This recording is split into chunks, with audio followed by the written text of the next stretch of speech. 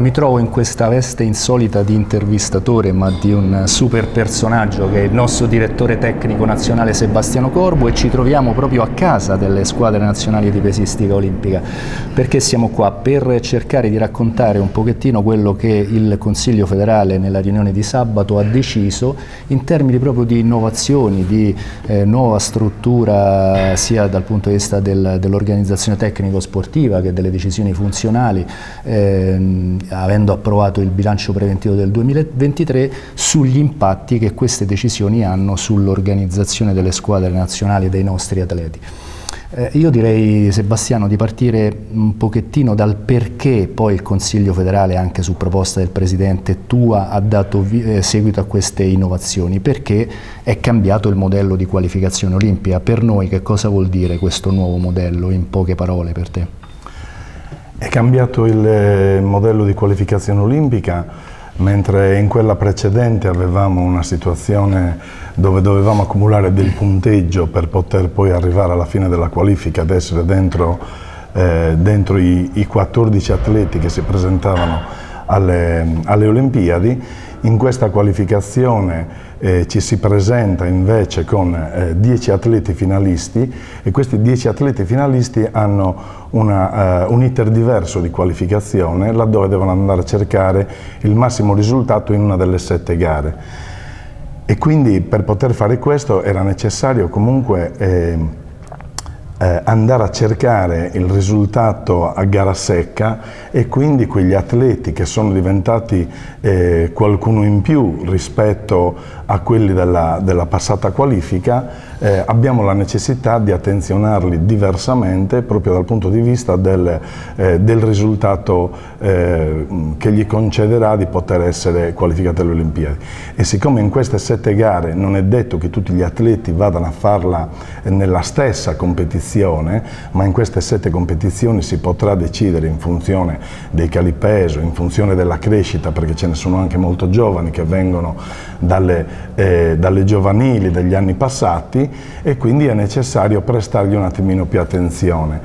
E, e siccome nel quadriennio precedente, nei due quadrienni precedenti, eh, le giovanili eh, facevano strada insieme agli atleti della qualifica olimpica, abbiamo preferito eh, sezionare un pochettino quella che è tutta la struttura della direzione tecnica e fare in modo che le giovanili abbiano un assetto diverso benché all'interno della stessa struttura. Mi sembra giusto, praticamente cambiato il modello di qualificazione olimpica è stato necessario cambiare anche il modello organizzativo delle squadre nazionali. Cambiare organizzativo, tecnico e un po' più in generale. in funzione non solamente di quello che può essere Parigi 2024 ma di quello che sarà l'iter delle, eh, delle qualifiche olimpiche degli anni successivi Degli anni successivi. Sì, perché noi avendo qua dentro, come tutti sanno, eh, sia gli atleti delle squadre nazionali olimpiche che quelli delle squadre nazionali giovanili, noi dobbiamo guardare all'oggi e al domani e al prossimo domani, per cui queste cose stanno insieme, non è possibile scindere questi aspetti. Assolutamente no? Per cui noi dovevamo dare attenzione ovviamente nell'immediato alle squadre olimpiche, ma anche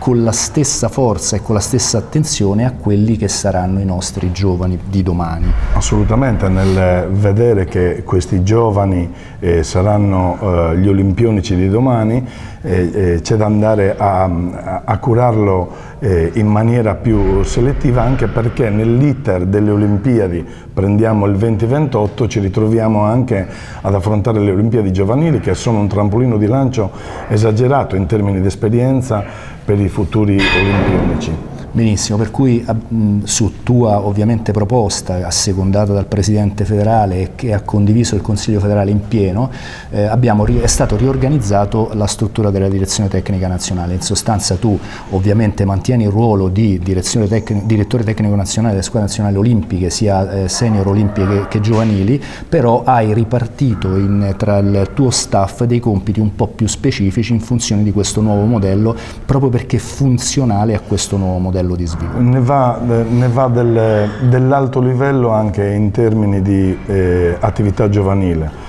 certo. cioè sono sicuro che eh, dividendo un attimino quelli che sono i compiti e dando delle responsabilità diverse anche agli allenatori, che voglio dire alcuni sono belli cresciutelli, hanno una bella esperienza, abbiamo la possibilità di, di far crescere eh, la, la qualità e poi proprio per far crescere la qualità che sta dentro le nostre strutture, siamo andati a rivedere anche quello che eh, viene da dietro, a partire dal, dallo Stenatron Young, che eh, riprende un pochettino quello che prima la CNAG, eh, la struttura, eh, la commissione che eh, si occupava dell'attività giovanile, della promozione dell'attività giovanile, eh, ha fatto ma abbiamo ehm, potuto constatare che nell'ultimo periodo era necessario cambiare proprio in funzione di quello che eh, le eh, istituzioni sportive ci hanno indicato. Esattamente, mi hai, mi hai, dato un bello spunto perché questa è un'altra delle grandi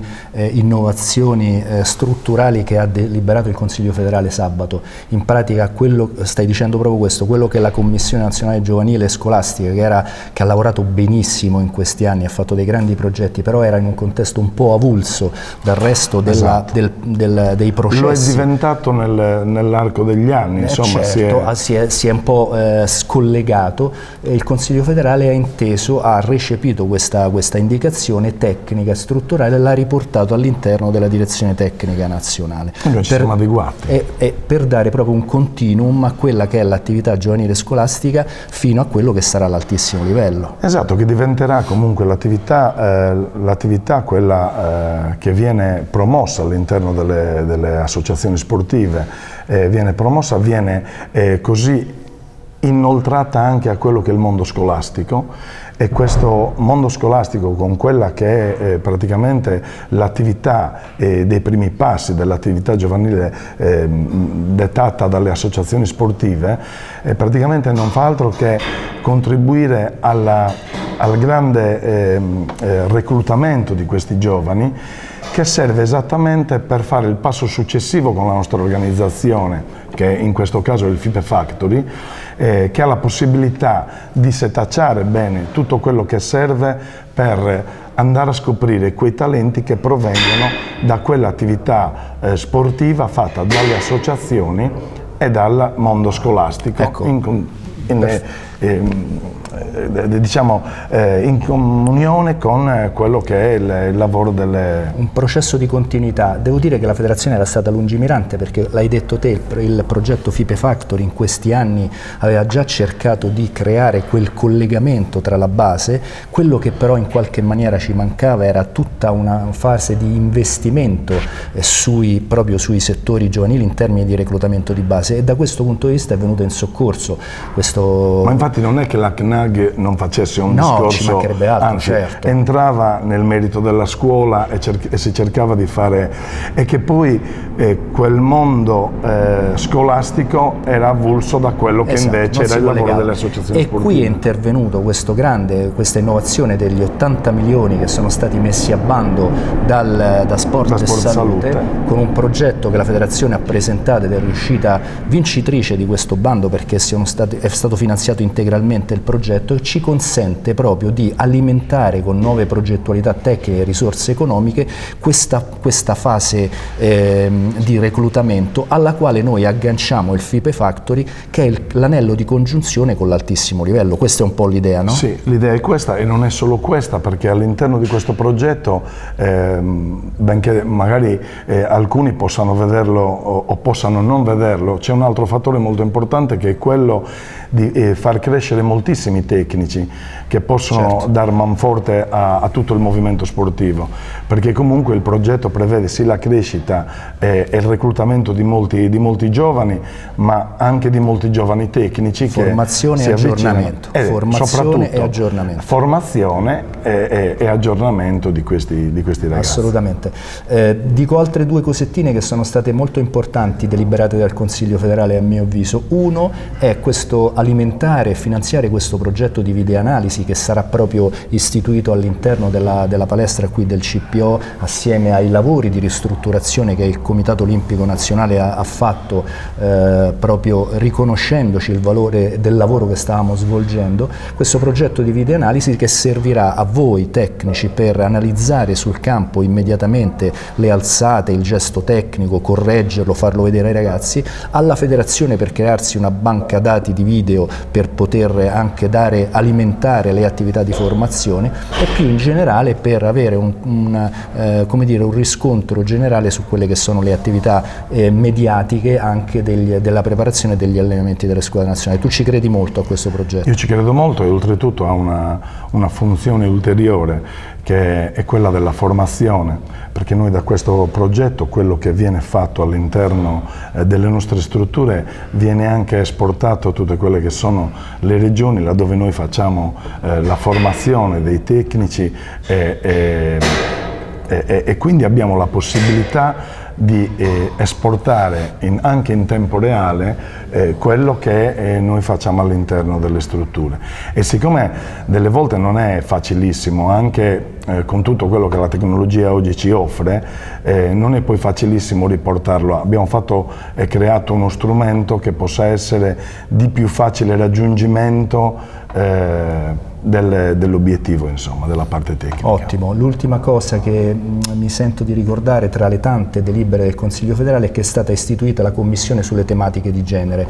Eh, questo è un tema molto caldo, diciamo così, molto sentito. La federazione è sempre stata abbastanza all'avanguardia su questo perché poi il nostro sport non crea nessun tipo di disparità, 10 categorie maschili, 10 categorie femminili. Il Consiglio federale ha tre, tre donne al proprio interno, i tecnici vengono eh, trattati, tecnici uomini e tecnici donna alla stessa maniera, premi per atleti, stipendi per atleti, compensi per tecniche, sono tutti alla stessa identica però è necessario eh, approfondire ulteriormente questo tema e il Consiglio federale ha avuto questa sensibilità, il Presidente, di istituire questa commissione sulle tematiche di genere proprio per monitorare i, questi processi di, eh, per capire se la federazione è sulla strada giusta e intervenire laddove ci fosse necessità. Il Consiglio federale ha eh, poi deliberato tutta tutta una serie di altri provvedimenti, tra cui il bilancio preventivo 2023 e tutti gli incarichi tecnici e di funzionamento, per cui da oggi perché il Consiglio è stato sabato, si comincia a lavorare sul serio. Buon lavoro e in bocca al lupo per tutte Grazie le vostre mille. cose. Grazie. Grazie a tutti.